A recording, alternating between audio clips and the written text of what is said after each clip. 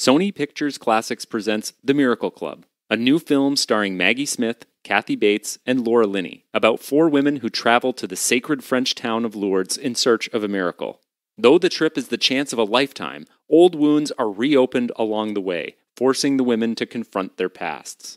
The Miracle Club opens everywhere Friday, July 14th, only in theaters.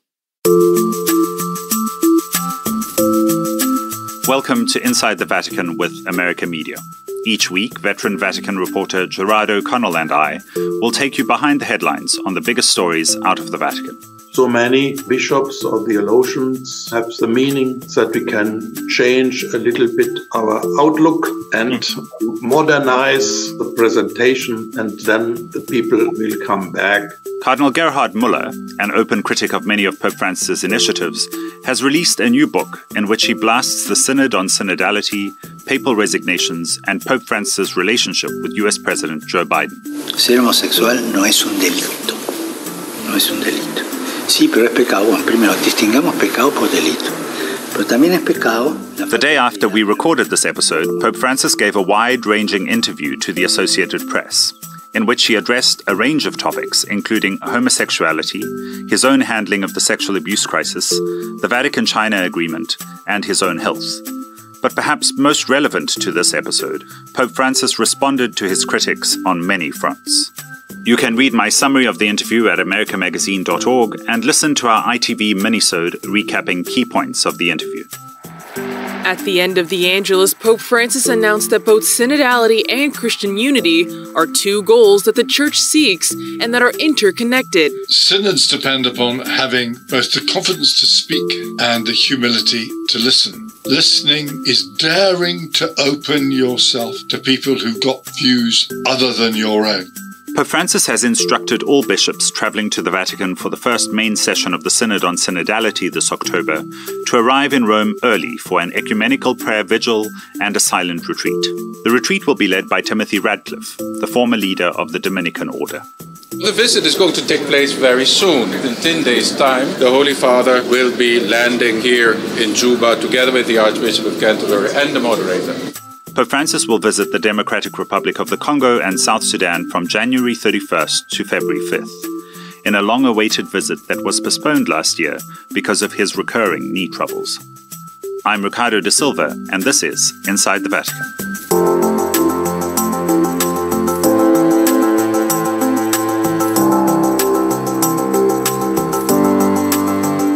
Good morning, Jerry. Good morning, Ricardo, from a sunny, beautiful day in Rome. I must confess, I'm not sure what the weather's like in New York today. I rushed here, the trains were late. So it's an ordinary day in New York City. Jerry, it appears to be this sort of tell all season of books uh, at the Vatican at the moment. Two weeks ago, we had Archbishop Georg Ganswein's book with all those revelations about what was going on between Pope Francis and Pope Benedict.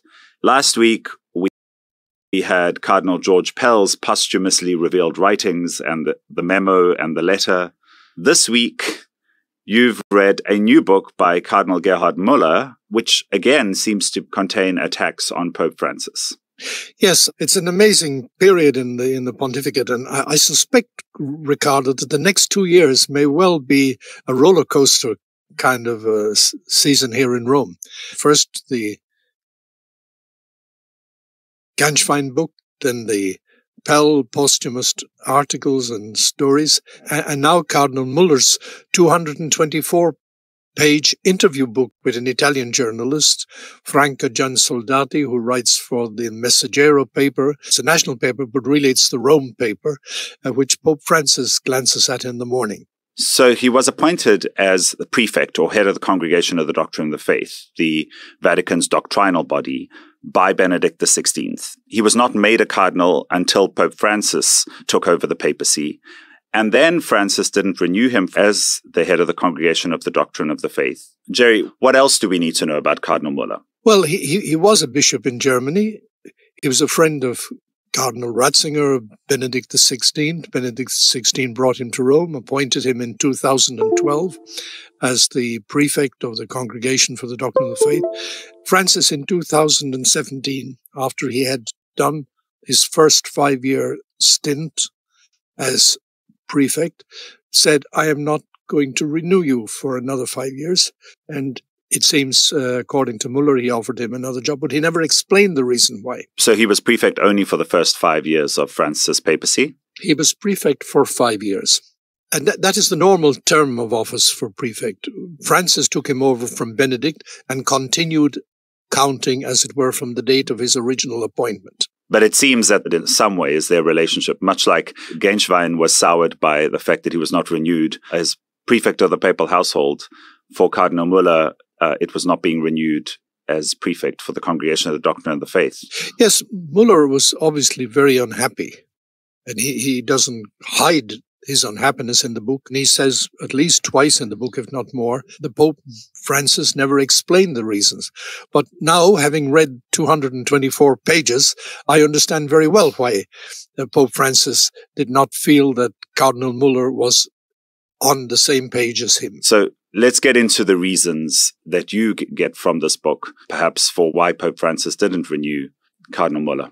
Well, I'll give you some of the reasons. If you read the first chapter, you will find that Cardinal Muller is not only unhappy with the German synodal way, he's actually unhappy with Pope Francis's synodal path, the synodal process, the synod on synodality that is now underway. And he says, this is really moving to a democratization of the church. It's moving to a Protestantization of the church, making the church more Protestant. And of course, that's not what Francis is doing. Jerry, what does he mean by Protestantization? I mean, uh, obviously that it's making the church more Protestant, but in which respects? Well, he really is, believes that uh, it's being handed over more to the lay people, that everybody's having their say in it, the bishop's uh, role, authority somehow being diminished. He doesn't unpack it so much, but he uses the he uses like almost interchangeably democratization of the church and Protestantization of the church as distinct from a hierarchical church. That's really, I, I, think, his bottom line. And so if he's conveyed that view to Francis, which I'm sure he must have, obviously Francis would have said, well, we're really not on the same page. Then he disagrees with the Pope's position towards China. He describes President Xi Jinping as a modern day God, like the Roman emperors were considered as gods. He now is a god. And he said, you shouldn't be dialoguing with the devil. Of course, this is a phrase from Francis, but he, he's using it in relation to the Pope's relation to China. Hmm. So saying that the Pope is dialoguing with the devil, Basically. characterizing China as the devil. Of course, he praises Cardinal Zen as a modern day martyr, like Cardinal Mindszenty in Hungary, Cardinal Beran in Czechoslovakia, other cardinals who Stepinac and such like, the great heroes of the church in Eastern Europe under communism. And he strongly disagrees with the Vatican agreement with China on the appointment of bishops, correct? Yes, he said you don't dialogue with the devil. And he said we shouldn't be really going down there. We should be standing by the church that is faithful. And he said the church in China, and he's referring to the church recognized by the state, they shouldn't be acolytes or altar boys of the state, echoing what Francis said about Kirill in Ukraine. So he's using Francis's words to make criticisms of moves by Francis. Ex- exactly. He, and he doesn't quote them, but you can see the parallels. Mm-hmm. Uh, then he talks about many other things. So, bringing Cardinal Muller's criticisms a little closer to home, he also has things to say about the US church and particularly the relationship that Pope Francis has with President Joe Biden. Yes, he compares Francis' relation towards Trump, President Trump, with how he treats uh, President Biden. He said he criticized Trump for putting up a wall between Mexico and the United States. And he said, of course, we agree with him on this. But then he seems to give President Biden a pass on the question of communion, even though uh, he is supporting uh, abortion. And so he said the, the Pope should be above the political differences. He's suggesting that Francis really has kind of weakened on this point. And he criticizes brother cardinals, right? I mean, he's criticized Cardinal McElroy in this book as well. He criticizes Cardinal McElroy for, he said, he's presenting the Eucharist as a private thing. Of course, this is not what Cardinal McElroy is doing. But it's it's a long list of things that he feels. So it's less a coherent book. It's responding to various topics of the day. But what comes out of it really is that he's giving the answer to his own question. Why did Francis not renew me for another five years? Because then I would be 75 and I would have done 10 years as prefect.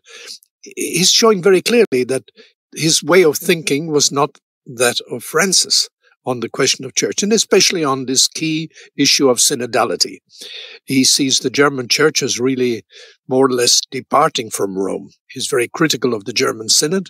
He feels Rome should be more articulate and come in strongly on this question. He feels Rome should be much more outspoken in the defense of human rights of the Uyghurs in China, of the people in Hong Kong, of other situations. He even says Francis should be more outspoken on Ukraine. Well, this is extraordinary because Francis has spoken more than almost 150 times now on the Ukraine. And so eh, it's a book that will uh, raise many points of discussion. This book is the third in less than a month. We have Gänswein's tell all book, we then had Pell's memo and the letter. Now we have this book by Cardinal Muller. They all draw out similar themes and almost identical criticisms of the papacy of Pope Francis. Why do you think this is so prevalent now? You know, Ricardo, I, I've studied and followed the papacies, modern papacies, and I've followed the end of the last seven years of John Paul II, I remember books coming out about the next pope, and they were really raising issues about what was had gone wrong in John Paul II's papacy.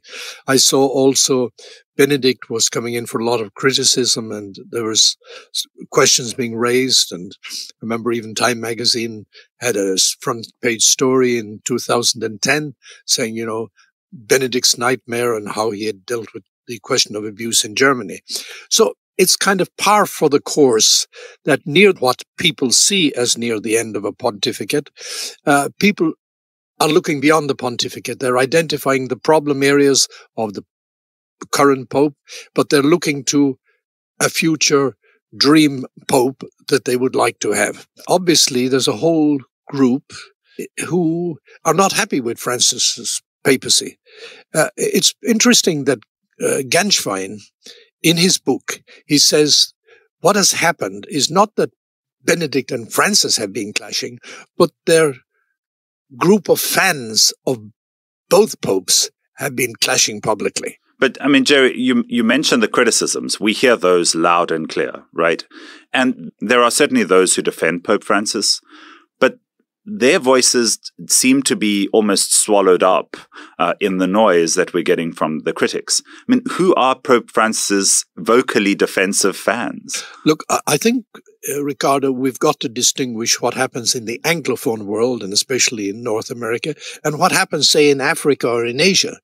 This same kind of echo is not being heard in these continents much. Mm. The attacks are coming more in the Anglophone world. I'm not saying only, I'm saying more in the Anglophone world, but also because there you have the megaphones reflecting the voices of the of what I still confidently say is is a minority. I talked recently to the president of the Asian bishops.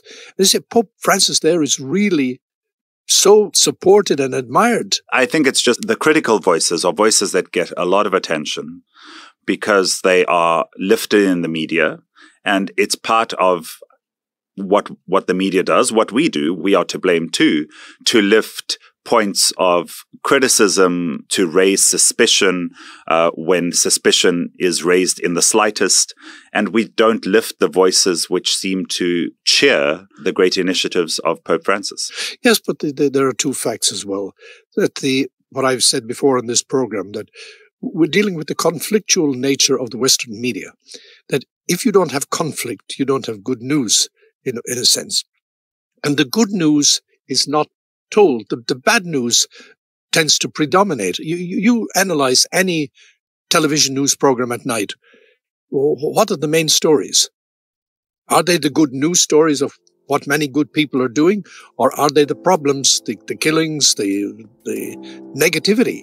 It seems that Pope Francis' fault finders, his critics, aren't going to be won over by him anytime soon. We've seen that this week with the release of some plans